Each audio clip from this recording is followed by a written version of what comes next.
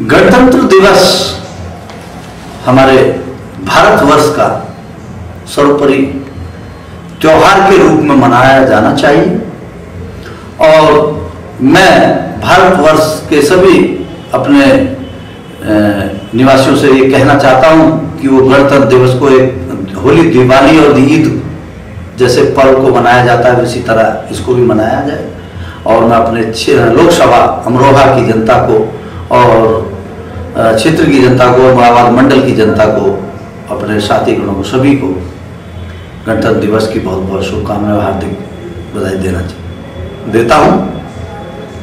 और जय हिंद, जय भारत।